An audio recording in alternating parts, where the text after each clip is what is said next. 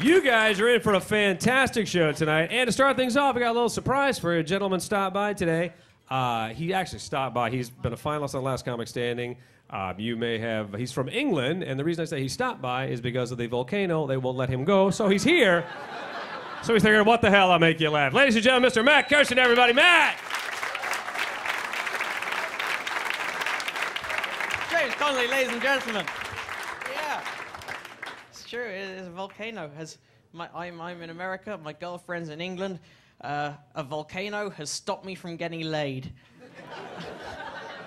When's that ever happened to anyone? I mean, seriously, that ridiculous. So, uh, how are you, people? You good? Yeah, of course you are. It's nice. Yeah, yeah, totally. Yeah, sorry, someone just asked, is that true? Yeah, it's, it's not just a joke that we thought of backstage. You know, like you can vouch for that, right? Other people? Yeah, like massive volcano in Iceland, ash everywhere. We can't fly. Ridiculous. Uh, thank you for a polite, just question.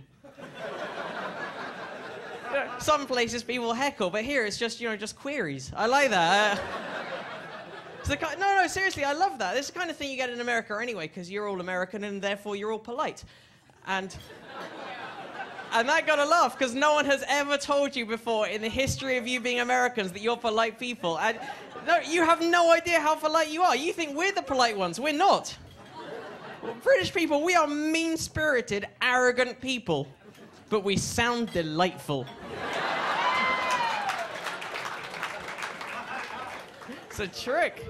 Love it over here. And look at you as well. I hadn't been here for a while. Look at you suddenly all big and grown up with healthcare. I know. Well, wow, amazing. When did that happen? Welcome to the 20th century, people.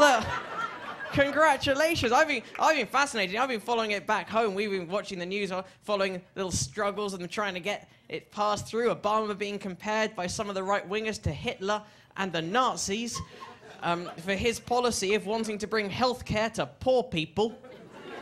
Uh, you know, like Hitler did. We,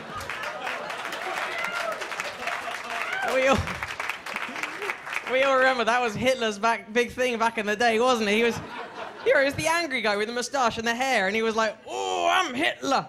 Um, some people don't have health insurance, and if they break their arm, they could be in thousands of dollars of debt, and I'm gonna put an end to that, for I am Hitler." Uh, and that's why he had to be stopped. You remember, right? And there was a big war. It was all in black and white, and there was singing. And uh, we won, and the Germans got to go back to paying for medicine. Uh, fascinating. We're fascinated with American politics in Britain. We are because the thing is, it affects us. That's what you don't realize. When you're voting for your, your president and your vice president, your Congress and your senators, you're electing the people who control America, and America controls the world. So you're electing the people who control the world, but the world doesn't get a say in it. so we're just watching you guys going, please don't fuck it up. please. just let the clever black man do it. Just let just let the clever black man near the books and the buttons and the paper and keep the scary woman away. Right? keep Holy shit. She might go for it again in two, like, like two years' time. The fucking hell. Just don't.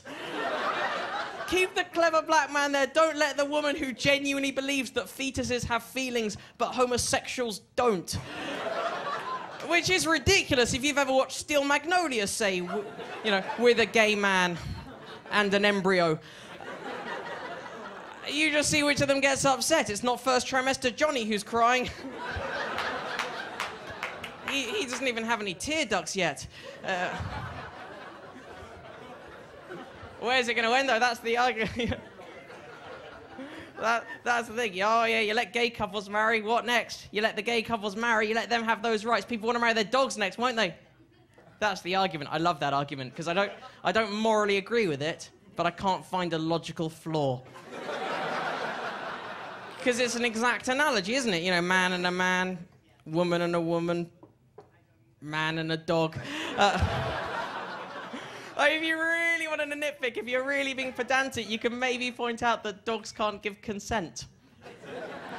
Gay adults can. A dog can't stand in a church and say, I do. They've barely mastered sausages. and sausages does not imply consent. not even in a gay wedding. There's the people. Thanks for listening to my little part of this evening. I'm going to try and get another plane. Take care of yourselves. I've been Matt Kirshen enjoy the night.